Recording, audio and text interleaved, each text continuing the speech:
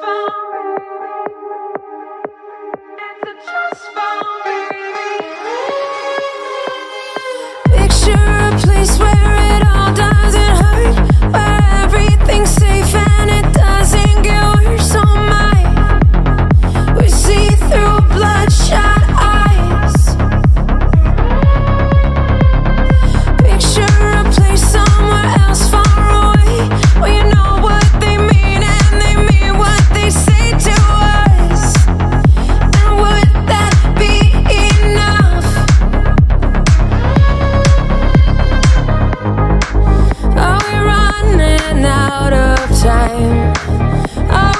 hiding from the light?